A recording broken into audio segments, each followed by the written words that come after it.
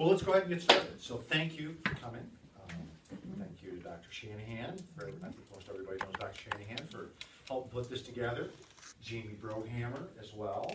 Makes a lot of things happen for us. And Jordan Felton is not here, but he, uh, he did all the heavy lifting. to get Yes, Thank you, Jordan. we appreciate it.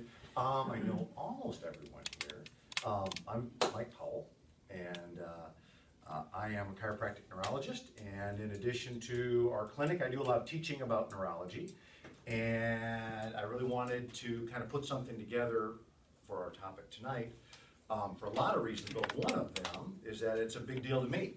Um, in about 1989, I get a phone call, and uh, from the University of Iowa says, "Hey, your dad's down here. He had a stroke," and uh, um, he was 49 at the time. So he had a stroke, and uh, um, pretty severe one, and the right side of his body was um, permanently impaired from that time on, and. Uh, at that time, I didn't know a lot about what the brain did, what strokes were, how all this stuff works, but that was quite a rock in my shoe to do something about it. So um, I learned a lot at that time, and um, actually, uh, four years, 89, 93, in fall of 93, he passed. So he was only alive, you know, for about four, four and a half years after that. So um, fast forward to 2000, okay, and here I come to find out that my mother, who's a little younger than my, my dad, now we're, we're two years in the future of that, my mother, who was a school psychologist up in the um, Cedar Falls, Waverly area, up there, worked for the AEA, um, was really not doing very good at her job. And, uh, you know, she was up, written up by her uh, supervisors and things for dropping the ball and, you know, blowing meetings and not being where she's supposed to be. And my mother's a pretty responsible person. I mean, you know, she didn't raise me perfectly with all her responsibility, but you know, she tried her best. But um, that really surprised me, and we came to find out before too long that she was having problems in multiple areas of her life. This one, she was probably about 56, 7 years old, okay? So not really very old. Um, that's five years older than I am right now. And so, um, so at any rate, um, fast forward, not very far beyond that, we find out and realize that she has um, a- an early onset dementia called uh, Pick's disease or frontotemporal dementia um, that was profoundly affecting her. And gradually, over the course of probably the next four years, um, she gradually lost most of her independence and then uh, was in care center and uh, uh, she died 10 years later. So she died in about 2010. And, uh, and, and so I got to see a lot of neurological illness in my family at a younger age than what you would really expect for things that typically are more aging uh, related. But um, hits home with me pretty good. And so uh, in the last probably two or three years, I would say, much more than even the last 15 put together, I've had more people in our clinic here ask me about um, dementia and Alzheimer's and Parkinson's and not, not, I mean, I've always had quite a few people that were patients with those issues, but more and more and more people say, you know what?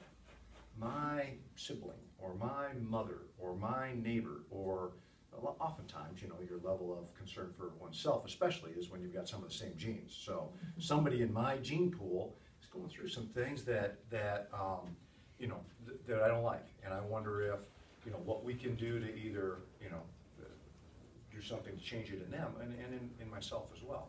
And so um, there's certainly been a high level of concern about that. And so um, that's what we're talking about. That's, that's what I want to share with you. Let me just back this up here a little bit. My dad, his brain scans look basically like this, where on the, this is the left side of his brain. I know it looks like a mirror image, but that's the way these things are. You sort of have to flip-flop them. Um, but this area was the area that was affected when he had a stroke, and that affected the right side of his body. Left brain affected language. He had difficulty with speech, and he kind of slurred his words some. And um, there was some emotionality and things like that. And my mother's looked like this. So look at, especially the right side of the brain, look at these little humps and bumps here, okay, that little crack there. And look how on the right side, it's just so much bigger. Like the little valleys, even up here, the little valleys between the hills are kind of narrow on this right side, but on the left side, the valleys are wider. And that happens when the brain starts to atrophy. And it happens much like if we put a cast on your leg, and basically you can't use it for even a couple of weeks, it starts to atrophy some. And so that occurs in the brain as well. And then if we fast forward in time, we get more and more relative atrophy. So four years after onset, this is just a different slice. You can see that much of that right temporal lobe is not even there anymore.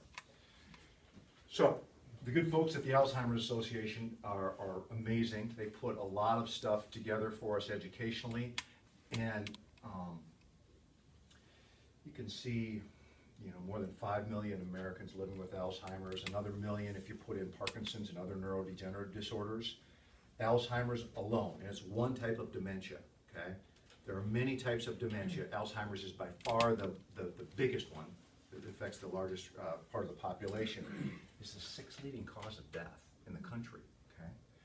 And in reality, pretty much all of these, except for number four, accidental, are very related to Alzheimer's, okay? So uh, there, there's either some similarities or they put you at higher risk for it, okay? I think this is interesting here. In 2015, and this was 2014, this was put together, Alzheimer's and other dementias will cost the nation $226 billion. That's about half of what the United States spends on military defense. It's amazing. I mean, I, I'm just kind of, I, I didn't, I didn't, I was going, well, gosh, that seems like a lot of money, $226 billion. I, I have really no idea, like, how big a pile of money is that? And so I went and looked, and go, what does that compare with? And I said, let me just check and see what we spend on defense every year. And it's about like, it's like fifty-nine, or it's, it's like, uh, like, what, what, what, five hundred and fifty-nine, something like that billion, but just a little more than double that number, which is big, okay? It's very, very big. One of the great things about the Alzheimer's Association is that, um, there is quite a bit of money out there, especially in the private sector, to develop medications for any of those, any of this stuff, okay? Which it's very, very important. Plus, top seven here, that's a lot of people. So, I mean, you develop a medication for one of these, there's a possibly, potentially very, very profitable medication. So there's a lot of motivation and a lot of private sector money available for that. Um, obviously accidental, there's not really a medication for that. But most everything else that there, there is, only Alzheimer's, there's really, well, in stroke there really isn't necessarily a medication for blood thinners uh, for some types of strokes. But um, for Alzheimer's, there's really no medications that really, really work. Once you have Alzheimer's, there's really no medication that, that, you know, there's some people that seem to do better. There are studies that show that some medications maybe slow the progression, but they, but that kind of maybe, kind of, sort of, is really about as high level of confidence we can put on any of them, okay? Um, and, you know, every once in a while, one kind of breaks through, this is gonna, Namenda, whatever it is, this is gonna be the thing. It just hasn't panned out that way, unfortunately, okay? And, and part of the reason, I think, is that Alzheimer's is a lot like, it's not really a lot like, but you can think of it a lot like my knee. I've got a lot of arthritis in this knee. I got pretty much no cartilage in it. Got bone spurs all over the place, okay? What medication is gonna grow me more cartilage and take my bone spurs away? It's just, it's just not one that does it. I mean, it would be great if there was, you know, and I'd probably be first in line, but it, it just does, there, it just doesn't work that way because my knee has degenerated. And when brain cells degenerate, it appears that it's hard to change that with medication, okay? These guys, the Alzheimer's folks, they're pretty good at pulling money into other avenues of research as well, okay? Um, which is huge because, you know, who's, who's, who's gonna benefit in terms of with big financial benefits like medications can with these things if the, um, if, if there's research done on whether, um, I just read this today, it was just presented at an international conference this last weekend, that, um, reading magazines, doing crafts, socializing, time on the computer and um, playing games, if you're 70 or over, that those, any of those five things seems to be preventative for cognitive decline. Okay? So they had a list of five things, all fairly sedentary things, but, but really good, kind of just everyday brain things if you choose to do them. And the numbers bear, bore out that for folks 70 and over that did those things, there was less cognitive decline than folks 70 or over that didn't do those things, okay? There's no pill that you can sell that does that, but these guys help fund things which can be very, very valuable. And they fund a lot of the stuff that we're gonna talk about tonight. Okay. So we're gonna zoom in a little bit on part of this. Part of what the 2014 information from the Alzheimer's Association told us is that Alzheimer's disease is the only cause of death in the top 10 in America that can't be prevented, cured, or slowed, okay? You're going, might as well leave, right? I mean, what's, it can't be prevented, cured, or slowed, what's, you know, we, we, I guess we gotta keep looking. So we're gonna keep that in mind here for the next little bit, okay? Um, we know through multiple studies in the literature, and I'm gonna share little bits and pieces of this with you, um, that there are multiple risk factors for neurodegenerative diseases, and we're gonna kind of focus mostly on Alzheimer's, but the whole family of brain cells um, degenerating and changing with age, they all apply, okay? So, as you get older, obviously, diseases of aging are more likely, right? Can't do a whole lot about that. If you've got a first order relative, like I do, okay, that puts you at higher risk. This, um, this genotype, the A, you'll see this APOE, the APOE genotype is known to definitely put you at higher risk for Alzheimer's. There's not an easy blood test to do this. It's kind of more like university research type things where you would find out about this. Um, but that does, we know that that's one we know for sure, okay? If you got Down syndrome, and, and people with Down syndrome are oftentimes utilized in dementia studies because their likelihood to develop dementia is much, much higher. Um, and so that's a group of people that, that researchers like to look at. If you've had a heart attack or prior head trauma, um, then your odds go up. Um, just, just another, another recent thing this week, um, a researcher looking at the NFL, right? Uh, head, head trauma, concussion stuff coming out of the NFL. Their numbers that, that they came up that kind of boiled down this, this one recent studies said that one half of NFL veterans, people that are now retired from the NFL, have suffered actual traumatic brain injury, meet the criteria for having that diagnosis stamped on them, okay? Which isn't the same as concussion, okay? Not the same as concussion, traumatic brain injury, okay? Half of them, okay? So I would say at least half of them fit that, probably more than half, okay? I mean, I played in junior high and high school, and I know I had head trauma from, from football, if not other things as well, okay? Okay, so what's cool is, those things that we just looked at, they were called risk factors up until about a year or so ago. Now we call them non-modifiable risk factors because we got some other ones too that we know about, okay, which is cool. Non-modifiable, I can't do anything about those, right? It's water under the bridge, can't get it back, okay? Mm. So, we change it. We go, hey, Alzheimer's apparently cannot be cured. That's where we're at right now anyway. Hopefully, we put a red line through that pretty soon too. I sure hope we do. But prevented or slowed, a lot of evidence for that. A lot of evidence, and it's growing daily. Okay? I'm just gonna, I'm gonna, I'm gonna throw a few studies up here on the wall. I'm gonna barely mention most of them, but what I want you to see is, there's none of them that are older than two, 2014, and there's a ton out there. And I've just scratched the surface with this stuff. But um, a journal called Neurobiology of Aging identified multiple risk factors for Alzheimer's. One of their key statements were, some of them you can change. Incidence of Alzheimer's expected to triple in couple, coming decades. Here's some of the ones that we talked about.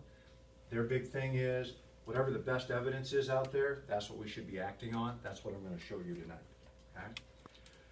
The American Medical Association sponsored a bunch of different papers in the last year on uh, neurodegenerative disorders. Here's four of them. One of them said that high flavonoid intake is associated with lower risk of dementia. We'll talk about what is that, okay? Foods, other stuff, okay? Mediterranean type diet and physical activity associated with decreased risk of Alzheimer's. This one down here was more just strictly diet, but Mediterranean style diet, a separate study.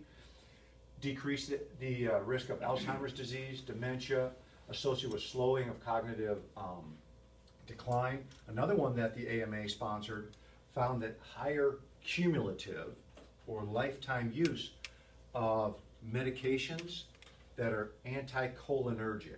Okay, so acetylcholine is a really key neurotransmitter in the brain, and people are mostly in agreement on that acetylcholine neurotransmission is one of the big things that's interfered with specifically in Alzheimer's disease. Many of the drugs that are used for Alzheimer's disease um, enhance acetylcholine. Okay, so it's got that choline word in it, right? So this is anti-choline or interferes with some of the chemistry in that stuff. Benadryl, Excedrin, Actifed, Paxil, a lot. There's a lot of them. Okay, and they are associated, of course, according to that um, study, with increased risk for dementia. Are some of those drugs like, um, the ones that they use for people with depression? Yes, like Paxil. Yes. So, so Yes. they're actually taking a drug for depression, which is increasing, It could well be, yes. And, and it's interesting, we'll see that um, depression is a modifiable risk factor, okay? And we'll also see that um, hypertension is a modifiable risk factor. And we'll also see that um, hypercholesterolemia, which is bad fats, high, bad lipid panel, right? The ones you take the statins for, okay? Those are all three um, modifiable risk factors for Alzheimer's disease. And we'll also see that in the case of the cholinergic ones, that shows you it actually increases your risk. You know, so there's mixed, it's a mixed message on that. But what we find on the other two with the hypertension and the, um, and depression is, not hypertension and depression, hypertension and the uh, bad fats, okay? Is that lowering those through medication doesn't seem to decrease your risk, okay? So if I'm hypertense, okay, I've got multiple strategies to get my blood pressure down long term, right? And probably a combination of strategies is probably the best way to go. But there's a there was at least one study, there might be more, but I'm aware of one, and the, and the same thing goes for the um, for the, the bad fats, because a lot of times you take the same medications. But if I'm hypertense and I do things to get my hypertension down, like like doing the things my wife would tell me to do, right? Hey, man, you need to exercise, get off your tail. You need to eat better, quit taking seconds. Do you really need to put butter on that? That kind of stuff, right? So that kind of stuff, if you do those things to lower your blood pressure, it seems to it seems to decrease your blood pressure and decrease your risk for Alzheimer's. If you take statins, okay, and it decreases your blood pressure, it doesn't seem to decrease your risk for Alzheimer's. At least that's what some of the evidence shows. Same thing with the lipid stuff. So it, it, it, there's not evidence that I've seen that makes it any increased risk, but it doesn't seem to have the same effect as the other stuff. you know, how many people are on depression medicine? Um, Quite a few, quite a few, I can assure you. Um, okay. Uh, prevention of Alzheimer's disease, is it an attainable goal? Okay, from two thousand fourteen.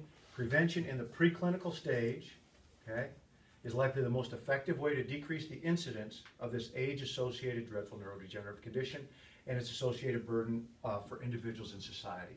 Put that on there because I want you to realize that this is what the literature is telling us. It says the way to treat Alzheimer's disease is before you get it, or at least before you know you got it. So preclinical means, you know, maybe you got, maybe you're heading that way, maybe you aren't. But, you know, that's, and you know what, we've known about that for diabetes. The best way to treat diabetes is before you ever get it. High blood pressure and all these things, okay? Um, basically, pretty much all the stuff on that list over here that are the top ways we die, right? So if I do things throughout my lifetime to have a healthy heart, my odds of cardiovascular disease go down. That's more effective than, unfortunately, stents and bypasses are later on when I have problems. Thank God for them, but better if I don't need them, or better if I don't need them until I'm 90. All right, so this is a whole bunch here. Um, benzodiazepines are a, uh, a major pain control drug. There's certainly some links to those in dementias. Um, bum, bum, bum. I'm gonna buzz ahead a little bit here. We're just gonna throw a few more up here. This was the one, the statins, that's the, the, um, the bad lipids in the blood, um, for the prevention of dementia. This is one of the studies that showed that lowering your blood pressure with statins didn't change your dementia risk, whereas lowering your blood pressure with other things, with physical activity and diet, did. Overnutrition, that's too many calories. Um, nutrient patterns, looking at what people are eating versus what they're not eating, and measuring markers for Alzheimer's. A lot of good evidence here that we'll talk about. Stress, meditation, Alzheimer's disease prevention. The evidence stands that less stress makes you less likely to have Alzheimer's, okay? We'll get into the practical aspect of this in just a little bit, okay? Physical activity, Mediterranean diet shows up again here, okay?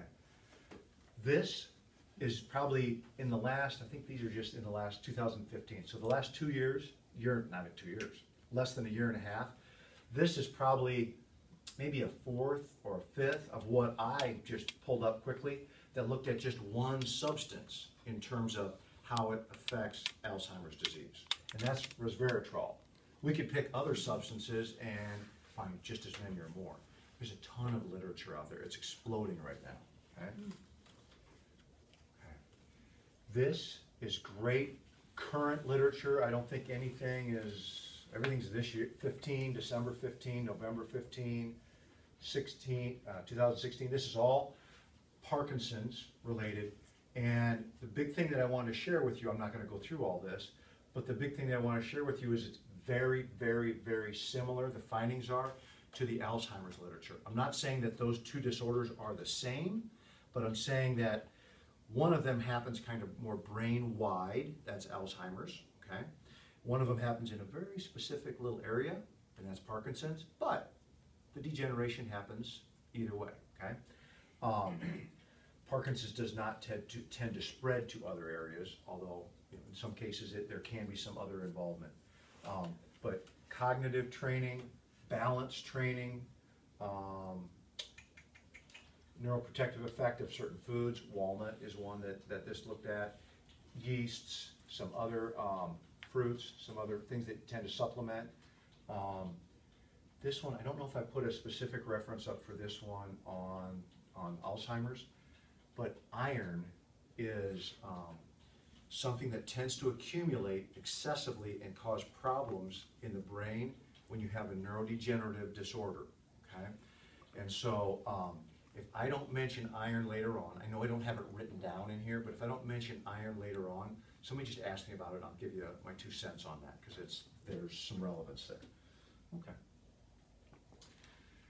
Now, let's talk a, a minute about brain cells, okay? So, just a little bit about sort of the care and feeding of these guys, because this is what we're talking about, right? How do you get kind of the most miles out of them? How do you keep them healthy? How do you make them healthier than they are right now, okay? Um, so they basically have to have three things. This is like the recipe for survival, or the recipe to thrive. They have to have fuel, okay? So my dad, he lost fuel supply to part of his brain over here, okay? Acutely, he had a stroke. So that loss of fuel supply made his neurons shift towards death, okay? Some of them died, I'm sure. Some of them survived, the ones that were way far away, and some of them probably just kind of shut down playing possum that were in the middle, okay?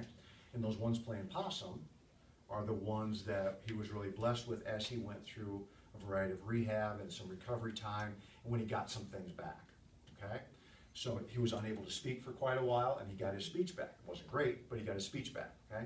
So that was from kicking the possum, right? Waking those neurons up that kind of were in that in-between. They were alive, but they weren't doing their job, okay?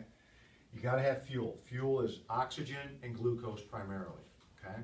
So we'll think a little bit about that in a bit, okay? There are certain nutrient compounds besides fuel, think of vitamins, minerals, all the stuff for the right chemistry that you need to have for these guys to work right, okay? And the other thing that they need to work right is they need some activity. They need a little social interaction. So they need activation. So brain cells require, just as much as they require fuel and other nutrients, they require activity. They need signaling through them, okay? And actually, they get kind of bored with the same old signaling all the time. And it's kind of interesting. Um, it's almost like, Okay, so it's cool, it's like right now, it's getting great outside, right? And so I, in spite of what I'll probably put up here on the wall a little bit, would love to, you know, stop and get an ice cream cone somewhere that, you know, in January I could care less about. But that would be really nice, right? And it, I mean, it tastes great, you know, your hands getting all that goop on it, and it's awesome, right? And you do that maybe the first couple of weeks of summer, but if you do that like every night, it gets old. It's not, it doesn't jazz you like it does the first time, or the second or the third time. Your brain works a lot like that. So it needs some novelty in its signaling, it needs challenges. The same thing that, that really activated a circuit of neurons, if it happens over and over and over again, and they start to get really efficient at it, that's great. But after a while, they need something else where they go, you know what? I can just pretty much put this on cruise control, which it really does, and I don't really have to engage my processes in this anymore, okay? All right? Just like lifting that same weight after a while, you need to bump the weight up a little bit because it's like lifting a feather after your biceps gets bigger, right? You need something more. So these are the three biggies that your brain needs, okay? The thing you can't put in the soup that your brain cannot tolerate is inflammation, okay? You can have inflammation when you turn your ankle, you can have inflammation when you get a sliver in here, okay? Or inflammation when you get a tooth pulled and your mouth swells up or whatever. And, and it may not feel that great, but your body's immune system will attack, and if you're healthy, take care of the debris or the, the, the, the um, damaged cells from your sprained ankle, clean that up, and then it's self-limiting, and then it sort of goes, okay, now we're kind of back to square one again, okay? Your brain's a pretty sterile environment, and the things that inflame the rest of your body are barriered from your brain. It's like there's a bouncer at the door saying, hey, you can't get in here. You're the like white blood cells that would like to gobble up germs and stuff. Say, hey, you can't get in the brain, which is pretty cool because it keeps your brain pretty sterile. So you don't need to have much inflammation in there because you're probably not going to get a sliver with a germ on it. That would be very catastrophic if you had it in your brain, whereas in your leg, it's not that big a deal most of the time, right? So your brain really doesn't tolerate inflammation well, okay? But it can become inflamed, okay? That's a big deal, okay? That's a big, big deal. These little nerve cells that make up your brain, what controls them? Okay, well, they've got a little recipe book inside every little cell that says what its jobs are, okay? That's the DNA, okay? And your DNA has lots of different recipes for lots of different jobs and different ways that the cells can sort of express themselves, okay? And so, um, the, the key to what I just said, they have lots of different recipes for lots of different jobs so that they can express themselves in different ways. The key to that is that just because your brain cells are doing what they're doing now, doesn't mean they have to do that in the future, okay? Just because I've got a dog-eared page here that says here, here's how you make cornbread. We're having cornbread and bean soup every night. Because, uh, you know, pages are all stuck together. I got rubber bands around all of them but these guys right here. We're having, we're having cornbread and bean soup every night. Well, the reality of it is, if I turn a page, I can make something else, right? Your DNA is like that, okay? What it's doing now is one set of recipes that are being expressed, but there are others, okay? And those others may be a better fit for you right now, or they may be a better fit with different circumstances, okay? But there is the potential for change, okay? No question about it, that's key, okay? Your DNA is very responsive to your environment and your current needs, okay?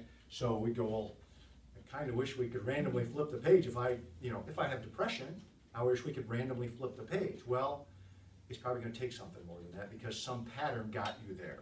Something got us to having beans and cornbread every single night, okay?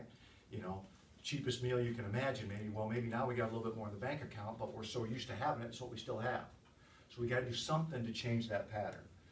So, both the chemical and physical environment will change what recipe your DNA wants to express. The last little thing I put on here that I want to point out is there's some really important chemicals in your body, and they're very, very uh, key in your brain as well as other places in your body, called cyto. Cyto means cell, okay? Cytokines, and they are cell signalers, okay? So they tell my cells, at least in part, which chunks of the DNA to express right now, okay? Which recipe to go to. And these guys here are all the rage in human biochemistry now and have been for about five or six years because changing signaling is a big, big deal, okay? And what we'll find is that inflammation happens all because of signaling. So if I get a sliver in my leg full of germs, if my cytokines really aren't doing very much, I really won't get much inflammation. Now that might be bad, right? Because I could get an infection? By the same token, if I have sterile inflammation in my brain, just because an area is not working very well, something degenerative starts to happen a little bit, and it starts to annoy the neighbors, right? My cytokines tell some special cells in my brain, hey, I think maybe we ought to have a little inflammation here, even though that's not very good for my brain in the long run, okay? So if we can manipulate the cytokines a little bit, then we can decrease the probability of that inflammation happening in the brain. Big, big deal, okay? All right, now, if you have all the stuff we just talked about and plenty of stimulation, your brain cells actually physically grow more branches. You see that little handshake that just happened on there? You're just gonna see it over and over again here. But that actually happens inside your brain. So if, like while we're talking tonight, okay? If I shared something with you and you said, huh, that's interesting, or whatever, if you just have some thought? Some little connection formed, okay? And uh, let's say when you leave tonight, you're still thinking about it. Well, probably more than one connection. And let's say tomorrow you're still thinking about it. It's like that earworm that you get with the song on the radio, like I do all the time anyway. So you're getting multiple connections, okay?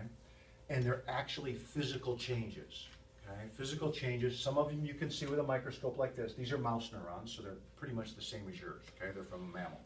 And they are responding to electrical signaling, a proper chemical environment, and no inflammation. And they're just making little branches, okay? The more of these branches there are between that brain cell and that brain cell, the better they are gonna be at talking to each other, okay?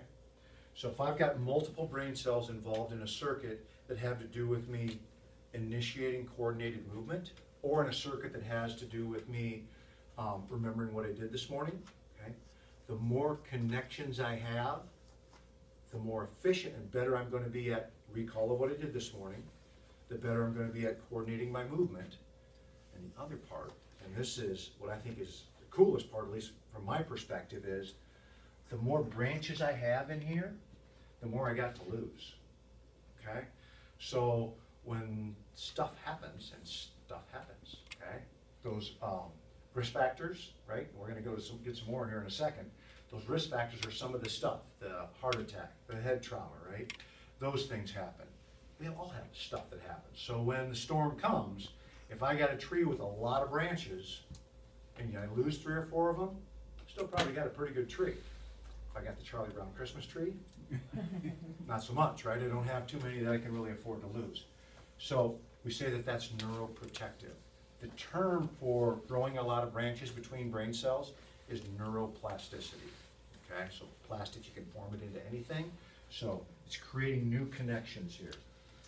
And you can see, this is a little bit, looks a little bit like the, the imaging that I showed that I said was like my mother's brain.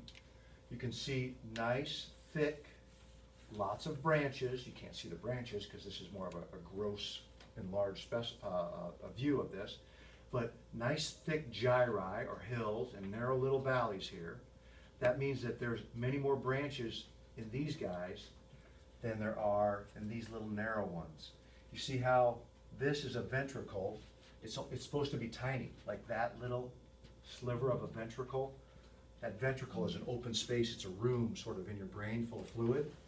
It's supposed to be a small room, but if all this stuff shrivels up, then that room just gets bigger, okay?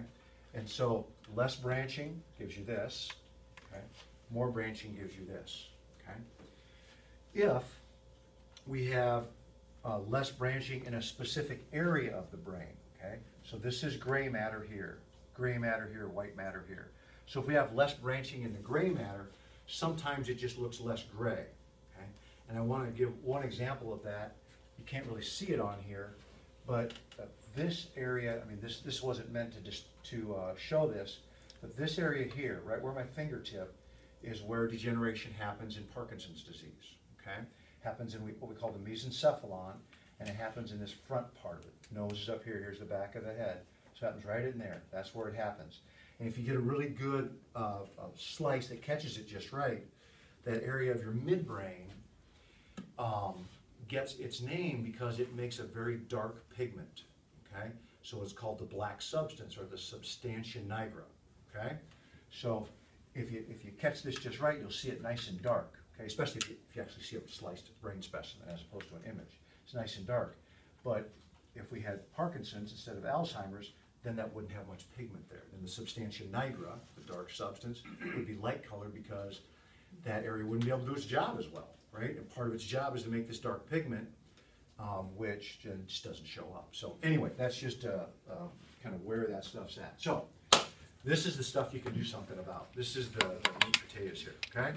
So, these are a bunch of, is it all inclusive? No. Do I think in the next two weeks, I'll be able to add to that list? Yes. I typed that up a week ago. I added stuff to it yesterday based on things that came out in the research over the weekend, okay? It's beautiful, okay? Now, these are all things that there are multiple, not just one, multiple studies in the literature that show evidence for smoking increases your risk for Alzheimer's, neurodegenerative, neurodegenerative disorders. Binge drinking, you have this, you have this uh, about the second page, I think, okay? High blood pressure, diabetes, obesity, cumulative years of education and mental stimulation, that means less years of education or less years of mental stimulation. And let me be a little more specific about that. Years of education is pretty simple for us to, to um, digest.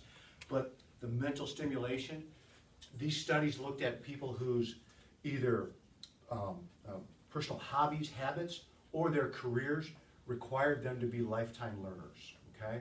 So that their, either their job or the things that they did when they weren't on the job, um, mentally challenged them throughout their life, okay? So they weren't put in the same widget, in the same spot for their entire career, okay?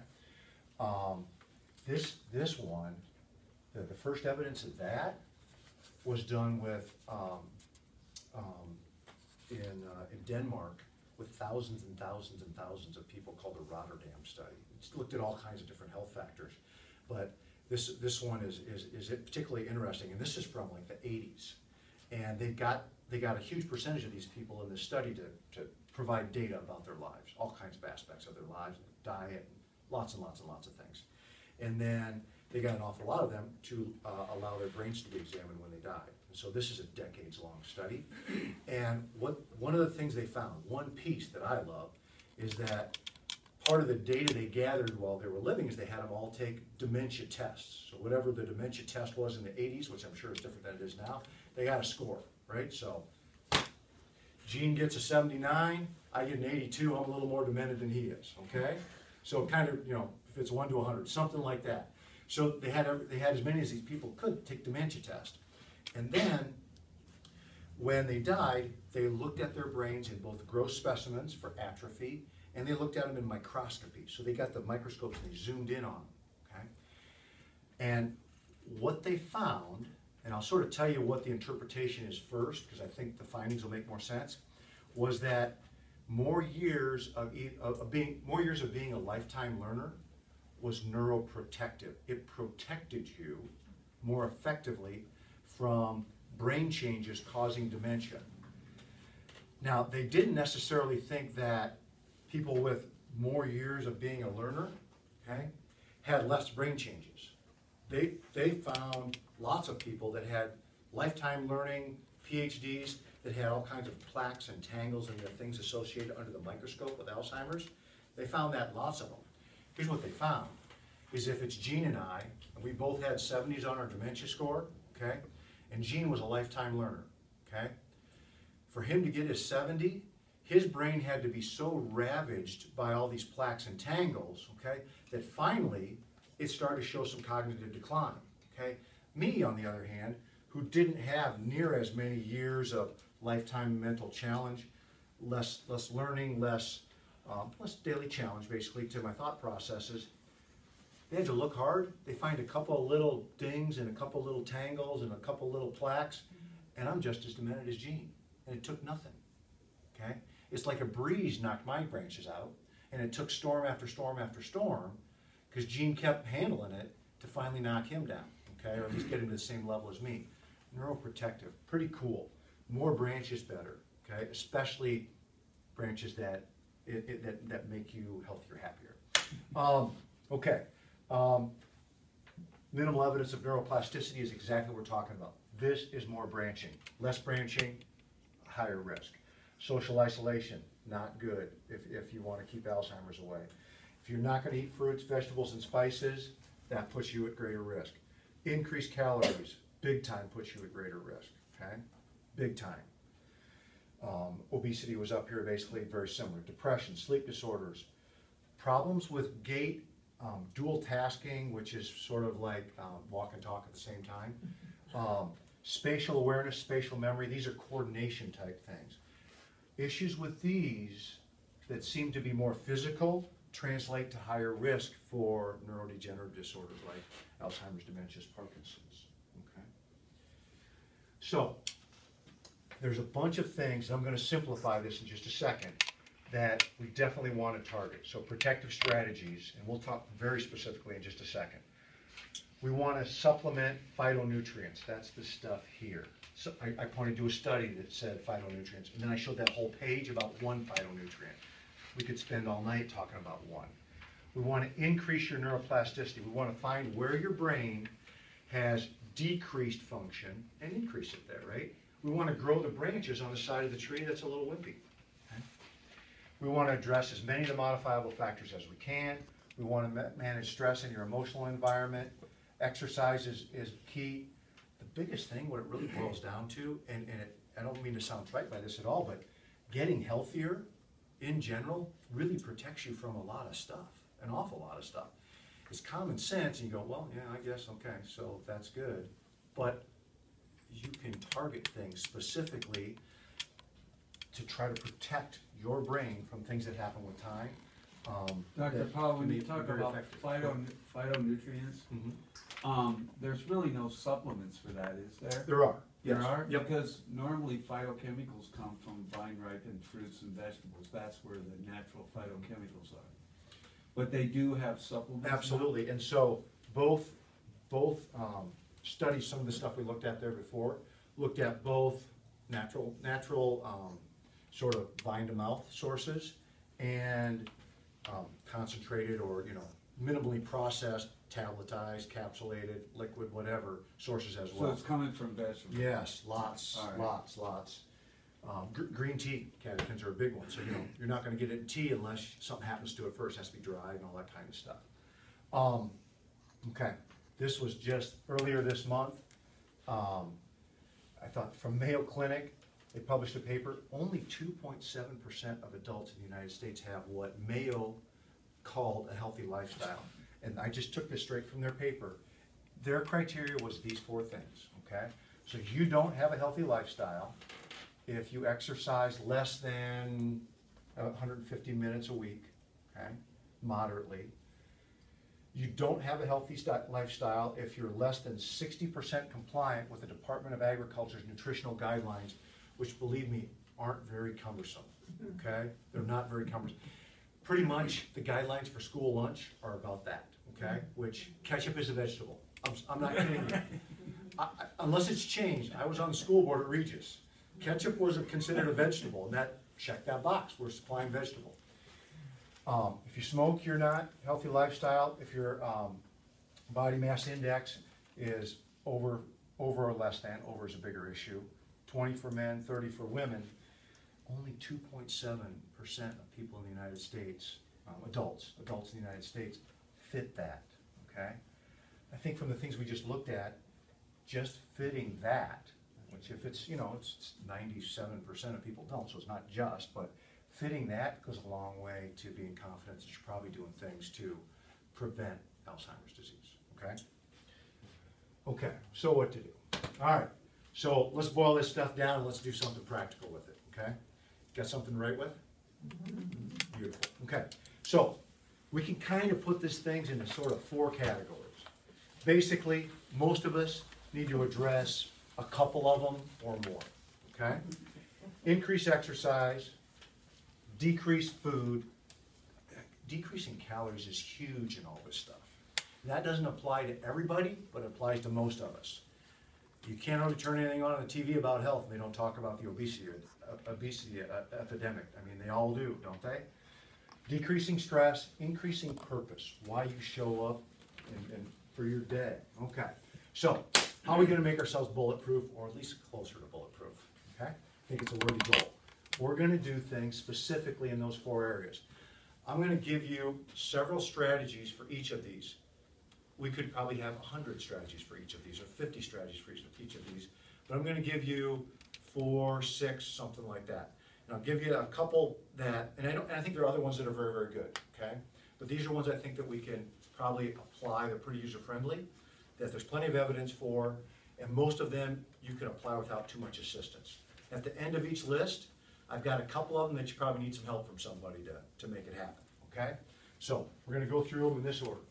So when, we, when I say decrease food, I really mean more than that. Decrease calories and decrease foods that make your brain less healthy and increase ones that make you more healthy, right? Stuff that you take into your body. So, I do not think that everyone is gluten intolerant or gluten sensitive by any stretch at all, okay? A lot of people are. But here's what I know for sure, okay? During Lent, when I give up gluten, okay, as much as I love fish, I'm not having fried fish. I'm not having pretty good food that's coated with flour and oil and then heated to a point where it promotes plaques in my blood vessels here and here, okay? So getting rid of gluten is a pretty healthy way to eat. It helps you, okay? So that's something that you could do, okay? All right. Limit snacks to a handful, okay? And limit your meals to no seconds, okay? Depends on how big your plates are, right? And how willing you are to pile her up. But, um, in general, caloric, not in general, across the board, caloric restriction makes you live longer and keeps your brain healthier. There's probably more evidence for caloric restriction and aerobic exercise than any of the other things that we looked at, period. There's, there's as much or more evidence for that than the non-modifiable risk factors, okay? It's huge. See it in animals, see it in humans, okay? So decreasing calories, that's one way to limit calories, okay? Another thing one can, could do, limit pop, all sugary drinks. Alcohol turns into sugar pretty fast in your bloodstream, okay?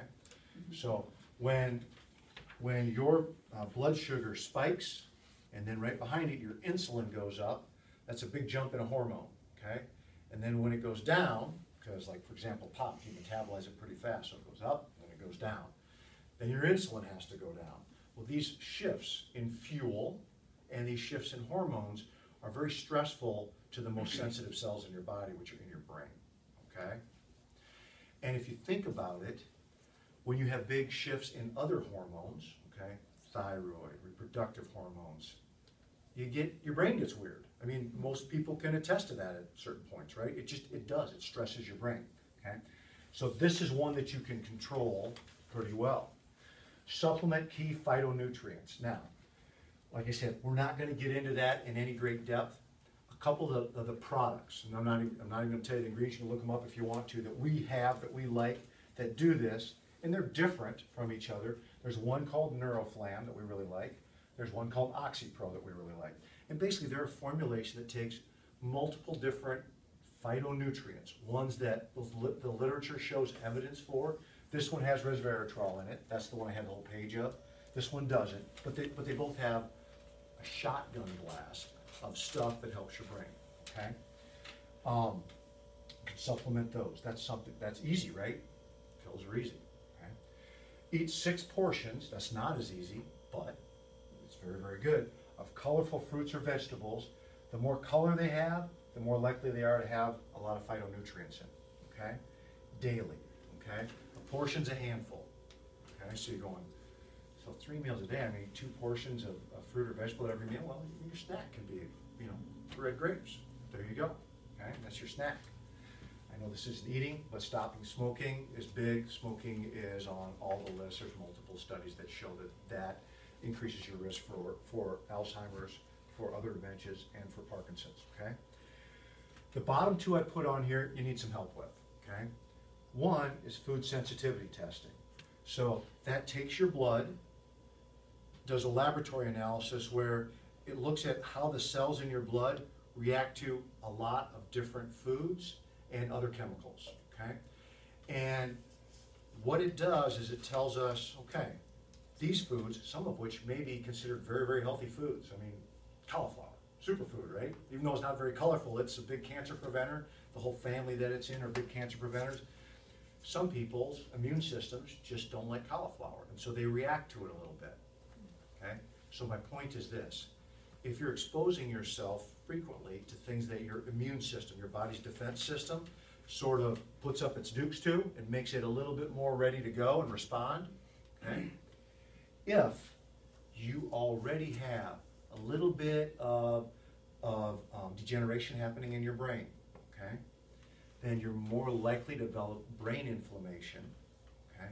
If your body's reacting to other stuff, because it primes your immune system, okay? It's just like if, if I've got, if I've got an unloaded gun locked into a holster here, okay? There's a pretty good chance, even if you tick me off, I'm probably not gonna shoot you, because I don't, I can't, I'm like, it's like Barney Fife, right, okay? So the next step would be Barney takes it out, puts it in there, now, watch out for Barney's foot, we know that. But now, you know, once it's loaded, now something bad could happen, okay? If your immune system is ramped up a bit, the gun is loaded, and now a little bit of brain inflammation snowballs, okay? Complete functional lab evaluation looks at blood sugar, looks at your fats, looks at your thyroid hormones, looks at, are you, uh, your proteins, are they, are they showing that you have a lot of immune system activity or not? A whole bunch of different markers that are specific to you. So whereas these things are good for everybody, these are targeted specific to the individual, okay? And that's why you need some clinician help. We do, we do this stuff here, okay? Um, now, on your sheet, I wanna say on the second page, you have this list, okay? And underneath this, it says circle one of them. So I'd like you to, I'd like you to circle one of them and you think, well, I could probably do that. okay? I'm not telling you you have to do that, okay? I'm just saying, circle one that you think you could do. And then there's a couple lines underneath the list, and it just says something like, if you were gonna do that, what step could you take to make that happen? Okay? What step could you take to make that happen? So, I could go home tonight, and I could get rid of all of our pop and Snapples, and donate them, donate them to people that probably don't need to be drinking them either, or I could dump them out and get my nickel back on all my cans, but that would be a step I could take tonight, right? I could do that, and that would help me get, boom, that's, that's, I'm taking a step. Instead of just thinking about it, I'm taking some action, okay? So circle one of them and just write down what you could do to make that one thing happen.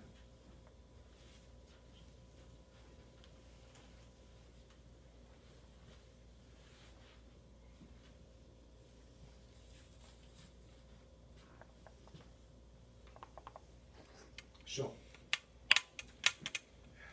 as we're talking, you will find, if you haven't kind of figured out already, the, on the neurological, um, brain and physical exercise part of it, I've got a lot of experience and expertise. On the nutritional, body biochemistry, pretty good there as well. The decreased stress, remember, and increase your purpose, your passion, you know, I, that's very important, and I have some things to share with you, but I don't have as much clinical experience in those areas. So those lists are gonna be a little bit lighter, and we'll talk about, you know, how you can maybe fluff those up a little bit more if you want to. But I've got some for you here that are, um, that, that we utilize with our patients, some of them, and uh, they're very, very good. I'm a big believer in number one. So decrease stress. You're gonna circle one of these again, you know, okay? Hard limits on your phone and your email. So, here's what I mean by that. This is not an issue for everyone. None of these things are an issue for everyone, okay? There's a bunch of these you're going, well, I don't smoke. That's pretty easy. I'll mark that one. I'll say, keep doing what I've been doing, right? Well, that doesn't lead you towards change, right? Because you're already bulletproofing yourself in that little quadrant right there. Okay, it's stuff that you're not so great at, right? Okay. Hard limits on phone and email. So, I'm here all day today. I, I got here at seven o'clock this morning and I think it's a little past seven now. So, But on Monday, I'm here all day, so, and I see patients, I interact with patients from eight to noon, okay, and two to six. Those are my eight hours with patients, and I have a little lunchtime and whatever. So, for me, no cell phone. No cell phone, no cell phone, no cell phone, okay? If my family member has an issue, they can call the office. And Jamie that you talked to, or met earlier, she will let me know, okay? I'm quite confident of it, okay? No cell phone between eight and noon, between two and six, okay? More than ninety-nine percent of the time, if I look at my cell phone, there's nothing I needed till noon anyway on there, okay? Same thing with email, okay, for me. Your job might be different than mine, but do we have email, uh, job-related emails that come through? Yes. Are any of them emergent? No, never, not one, okay? Do, I personally don't have a whole lot of issue with not looking at my cell phone, I'm fine? Email, I'm, I want to, and I fall off the wagon once in a while, I wanna check it. You ever notice when you fall off the wagon a little bit with whatever it is? You don't just fall off. Mm-hmm. You roll around on the ground, and you get way into it, and now I'm checking my emails, like, oh, I should just check it again. And the thing is, is that the way it increases stress is it makes your brain reactive. You're very reactive. So now every time my cell phone buzzes, whatever I was focused on, my mind shifts to, it. whether I even answer it or not, my mind shifts to it. And so I'm like a primitive fight or flight little mouse going through the woods. That every time I hear something rustle on a leaf, it could be a predator, and I've got to go, and my heart rate's beating fast, or I shadow on the ground. It could be a hawk, right? And so I get in fight or flight mode, even though maybe you don't think you do, we know you do, okay? So things that shift you away from reactivity are better.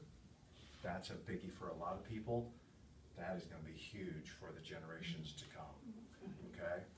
And, uh, yeah, big, big, big. Um, idre- identify, this, this is, I think this is harder than this, but I think it's every bit as important or maybe more. Identify one stressful ongoing commitment and eliminate it. It's prob, this is not hard to do at all. That is easy. Identify one stressful ongoing commitment, I bet most of us can make a little list. That'd be my guess, okay? That's the hard part right there. Because we wouldn't be committed to it if we didn't have reasons, okay? But I guarantee you that you've got some things that you're doing, okay, that are taking much, much more from you, okay, than they need to be. And that's big, okay, that's very, very big. And the other thing is, you know, in your mind, things that you've thought about, plus you know that we're gonna be a couple little things from now, I'm gonna say, hey, do something that makes you happy, aren't I? Then you're gonna go, when the heck am I gonna do that? Because I gotta do a bunch of these things right here. I'm, I'm doing all this, so where's the time to do the thing that makes me happy, okay? So you sort of gotta take one off to put another one on, okay? To put a good one on. Massage is great, that's a lot easier, just schedule it and go. Gotta pay some money for it, but it's, it's wonderful, okay? And you gotta give yourself permission to do it.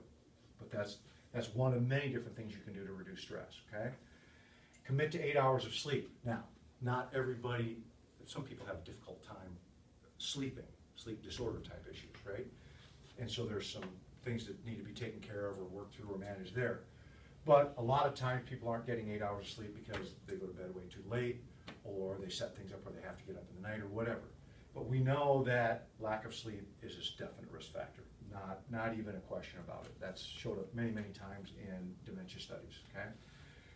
Before you go to bed, no screen time for an hour and a half before bed.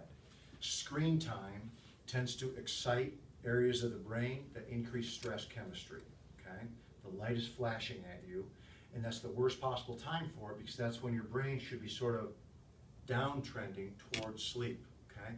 And not only is it not good in that ninety minutes, it makes your sleep less restorative, okay? And, you know, you may feel, man, I'm just dog tired, my legs are tired. The biggest organ in your body that needs the restoration is your brain, by far, okay? Ninety minutes is kind of a magic number for the way your sleep cycles run, so it's a good, it's one I like to use. So that's a big one, okay? Meditation is great. I'm no expert on meditation. It's an area I'd certainly like to learn more about. Um, I know if I was gonna do that, I need some help with that. And, and so, um, that, that, you know, you can, you can get help with that. A lot of times you go here, where people do yoga, right? That, those are a natural fit. Um, regular practice of yoga, Tai Chi, there are other practices that are wonderful. Circle one, write down below it. Here's something I could do tonight or tomorrow, either one. I could, I could call the massage therapist and set one, one up, one, uh, one every two weeks for the next six months or whatever. Mike, by screen time, you're talking TV shows, not looks and. All that, yes, yeah, all of those, yes, yes. So, Reading book on, book on paper, we're good. No flashing light comes off the book on paper, right? But your Kindle, your iPad, your Nook, it flashes at your little mesencephalon there, yes. Yes. Even with the new, with the new updates. they Oh, put yes, screen that's a time. great, yes. So, um, so there are filters that decrease the, um, aggressiveness of the way that stimulates the brain, okay? And so, um, so that helps. So ninety minutes before bed, I still don't think it's a real good idea, okay? But in general, using the F dot lux, F dot L U X is a nice filter. And then the, um, the newer, um, iPhone and iPad operating systems have a built-in filter that you can, you can select in the settings that filter out some of the more aggressive light, and that helps. Abby has huge difference, um, with using that screen time. She can tell when it's not on. Um, Oh, really? Yeah. It's just, it blasts her too much now? Yeah, yeah, Yeah. so she's become pretty dependent on that That's good. a lot, so. Yeah, that's good, and you know, I don't think as a society, screen time in general is gonna decrease anytime real soon. So I think the reality of it is, is, is that that's part of our lives, and so managing it, I think, is, is a big thing. So that's a very good point. Okay, all right. Exercise, okay? Like I said, um, less calories and more exercise, there's more evidence for those two things than anything else, period, okay? Lots and lots of stuff one could do. Here's one thing, okay? Depending upon where your level of exercise is right now, walk, brisk, slightly winded, so that's the level of exertion, an hour, six times a week, okay? Let's say your knees don't like that, or let's say your lungs don't like that, okay? Maybe it's ten minutes, you know, twice a day, and then, then after a week or two, maybe it's fifteen minutes, so you build up, just like if I was gonna try to lift more and more weight. But try to get up to that one hour, six times a week, that seems to be a pretty magic number exercise-wise, okay? But it needs to be aerobic, you need to, you need to have a little bit of difficulty carrying on a conversation or more than that, okay? Um, register for an event that you need to train for, so commit, okay? Register for some event, and then now you go, well, you know, I paid some money, I got this mark on the calendar, it says I'm gonna do this five K walk, or this half marathon, or pick it, whatever it is. Something that you could do if you just got a little bit more of a push than where you're at right now. And then rinse and repeat, right? Just keep, keep doing it, keep it alive. A lot of people need that external thing, it's like a workout buddy. If I don't go, I'm gonna let them down, right? If I pay and put the date on the calendar, I told people that I'm gonna do it, I'm more likely to do it, right? So that's good. Um, go from two to three times a week of whatever your exercise practice is to six times a week, you know? Maybe you're, you're on a bike and elliptical and, and, and lifting some weights, well, maybe you add running, or maybe you add walking, or maybe you add swimming, or weightlifting, or whatever it is, okay? Sign up for a class, okay? Paying some money, okay? Telling other people you're gonna do it is powerful, okay? Aerobics, Pilates, whatever, something that makes, gets you a little winded, okay? On the exercise side of things, like I said, I'm giving you things that you need some help with, okay? One is, if there's things, that- and we see people all the time, physical therapists do, all kinds of uh, healthcare providers do, with trying to get you over whatever roadblocks are keeping you from being able to do the things up here or whatever. So, you know, maybe part of it is, I need to get that hip figured out, or I need to get that shoulder figured out, or whatever it is. And so, if you need some help with it, if you've been trying to get it figured out on your own for a year, you probably need a little help with it, okay? It's the reality of it, okay? Go to the gym, go to a physical therapy clinic, get a fitness assessment and a plan, let them set you up. Here's what, they ask you, what do you wanna get out of this? Do you have a weight loss goal? Do you wanna be able to jog a five K, whatever it is? They check you out, they, they get your numbers, they set you up with a plan, okay? They plug you into it? Simple, you just pay money and show up and then do what they tell you. You don't have to figure anything out, okay? Um, we have wonderful, uh, facilities in the area here. This is very specific to what we do here, and, um, there are other facilities in other parts of the country, but really not very many places that do this. This is, uh, uh, not, not super common to have folks that, that really focus on this, although it's getting more and more and more. Specific functional neurological examination and targeted exercises? So remember, we said, hey, let's grow more branches on the wimpy side of the tree, so that when the storms come, you can afford to lose a few and still have function. So, let's say, let's say that your, you know, your balance is a little off and you kind of tend to sway a little bit to the right, and you're maybe a little less coordinated with your right hand than your left hand. And when we test some other things out, we see that there's, your eyes do everything they're supposed to do, but they don't move quite right, they don't move quite smoothly when they track things to your left. And we start putting some of those things together, we go, you know what? It looks like, okay, you don't have any stroke or anything, you don't have any big brain atrophy that, that we can infer, okay? But this area isn't working as well as the others, okay? It's just like if you go for this, and they say, you know what, your hip flexors are really, really tight. They're really tight here, okay? And you've got some weakness in your glutes on this side. You know they're gonna give you something like this to do, aren't they? They're gonna tell you to stretch this. They're not gonna tell you to do a bunch of bicep curls. They're gonna tell you to do stuff for this, to target the area of weakness, get it up to snuff, and then off you go, right? And you, you just chew up life a little harder after that. That's good. So we do a lot of that neurologically, okay? Identify the area um, that's not working as well as it should, give you things to do, find ways to measure to see if it's improving, think you got a couple lines underneath there, if I remember correctly, to say something about, if I was gonna do one of these and kind of get rolling with it in the next twenty-four hours or so, what step would I take? If I was gonna do one of the things on this list here. There's lots of other things a person could do, but these are some good ones that you could do.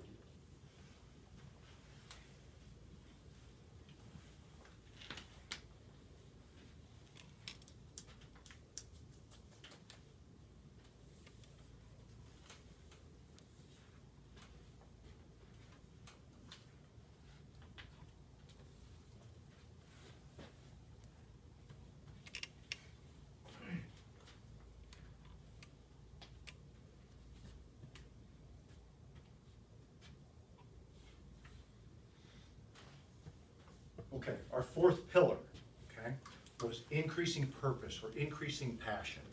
And I'm always amazed by researchers, the way they come up with ways to study this stuff. It's kind of fascinating when you read some of their paper, like, how do you study, you know, your passion versus your passion, and what, you know, how are we gonna artificially take yours away from you, or give you more, or whatever, and then measure something, but, um, it's pretty neat to look at some of this stuff. At any rate, um, these are some things that, based on the literature, there's some evidence that makes a significant difference in preventing dementias and neurodegenerative diseases. I guarantee you there are many more, many more things than this. It's just I'm not able to share a whole lot more of them with you, okay? This one, write down three things each day. You can type it into your phone, okay? That you are grateful for, truly grateful for, that make you happy. They shouldn't be the kind of things that you go, you know what? If Gene's looking over my shoulder, you know, I, I think he would approve of this one. It doesn't matter whether anybody else approves of it or not. If it makes you just flat out feel good, okay? I don't know. I love that fresh cut grass smell. Is there any smelling it? Does it do anything great for for? I mean, does it you know? Does it does it progress my life in any way other than make me feel happy? Probably not. Like that smell. I just it just smells flat out good. You can smell it now, right? I mean, this time of year we're starting to smell that, and so that kind of stuff. And seriously, there is literature that studies this stuff, and then it looks at cognitive brain function, and complex cognitive function improves. I want to say it's like after three months or two months of doing this on a daily basis. Okay, mm. that it's simple. It's like a word, you know. But the, I, I, my understanding, with the, what the literature says here, is that it's key that it's something that just makes you flat out feel good inside. Okay, not that should make you feel good inside, that it does make you feel good inside. Okay. We all have things that we're passionate about, okay? And we all have gifts, okay? Sometimes they're the same thing, sometimes they're not. But some combination of those you need to express, okay? You need to, you need to get that out of you in some way and use it, okay? And you need to either be doing this in your work, or you need to volunteer, but you need to, you need to get that out there, okay? This is, take the stressful thing off your plate and put the passionate gift thing on your plate. And can sometimes stress come along with this stuff? Yeah, sometimes, okay? But you know what, it's something that you're truly, truly passionate about. You don't have to do it, you do it because you love to do it, okay? That's, that's a big one, okay? So, for me personally, okay? I mean, there's a lot of things that I'm not very good at, and there's a lot of things that I'm pretty good at, but I know just from a lot of years, and I may have some disagreement after the last hour, but I, I'm, I'm a pretty good teacher, okay? And I, I know I am, and I, I mean, I'm not saying that for any other reason, it just, I just know it, I just know that's something that, it's a gift that I think I have a little bit of. And so, like, for me, okay, um, I was thinking about this, I used to teach a lot of neurology to other doctors, and I've been doing it less and less and less, because now I'm home on the weekends more, and it's great, but I, I don't, I haven't had as much of an outlet for that, okay? And so, now you guys are my outlet, I'm kidding. But, um, so, um, I signed up to teach religious education this last year at my church. And so, you know, and so, and, and you know what? Just committing, just going, okay, I've been thinking about doing this, just when I called and said, hey, hey, do you need anybody? And they said, yes. I felt so good, it was better than the grass smell, it was, it just makes you feel good. And, and so, you need, you need to express that. It does things for the brain, okay? It does things for the brain that are important. Daily five percent statement, it's a little bit, a little bit like this. It's, and you have this in your, um, um, I wanna say, maybe your fourth or fifth page there of your, of your handout. It has like a little thing about resources on the top, it's like the name of one book, and then mm-hmm. below it, it says daily five percent statement. And basically, it says, if I was gonna make my day a little bit better, okay? It has a little different words than that, five percent is a little bit, right? It's not a huge thing, a little bit better. What's one thing I could do today, okay? If I was gonna make it a little bit less frustrating, or a little bit less worrisome, five percent, not a lot, just a little bit. We're not asking you to move heaven and earth here, okay? What could I do? And just writing that down, okay? Just writing that down and making it something really, really easy, there's significant evidence that that grows branches in the right place in the brain, okay? And that changes some of that, the cytokines, the, the neurochemical signaling, to a more protective brain, okay? Lots more things you could do. Let me give you two more that um, you might need a little help with or are a little bit bigger, uh, bigger things to, uh, to do. Um, But you could get involved in, in retreats where you have, you know, a day or two or three days or whatever, where you immerse yourself in things that help you develop purpose and passion, not develop as much as explore and discover purpose and passion, and then find ways to, to, better than these ways, or maybe specific to you ways, to implement them practically in your life, okay? And probably quite a few of you have done that, probably quite a few of you have not, okay? And, and so, um, we know that makes a difference. We know that that can be really, really good, okay? Um, once again, that's, you know, you just X's on the calendar, pay your money, show up, right? And then you're, you have to be willing to do whatever they do. You just gotta say, okay, I'm here, I'm Clay, you know, move me around and I'll do what you tell me. The last thing on here, um, is the 80-20 rule, okay? And, um, the 80-20 rule, I have a little bit about that, it's also called the Pareto principle. This has been something that's been studied for a long time. There's a guy named Pareto that, that, um, he found that in, in his, uh, in his garden, he found that twenty percent of the peas, uh, pea pods, twenty percent of the pea pods had eighty percent of the peas. And then he started studying some things, and he found that twenty percent, I wanna say, of, of the people, maybe the activity, I wanna think, I think it was in Italy, created eighty percent of the production or the wealth. And he started applying it to all kinds of things. And basically, there's a couple of different ways of looking at it, but it's that twenty percent of what you spend time on, okay, results in eighty percent or more of the production towards whatever it is you wanna get accomplished? And so, to really get serious for a week or two and write down, here's things that I do on a pretty regular basis most every week. Take out the trash, go to my job, whatever, you know, all the things, every end of the spectrum, but things that just show up over and over again. And maybe it'll be thirty or forty things, maybe, maybe less, maybe more, okay? And then you go, okay, which one of these is really key in getting me to where, what's important in my life? You make a little list of, here's what's important in my life, whatever those, it shouldn't be a hundred things, okay?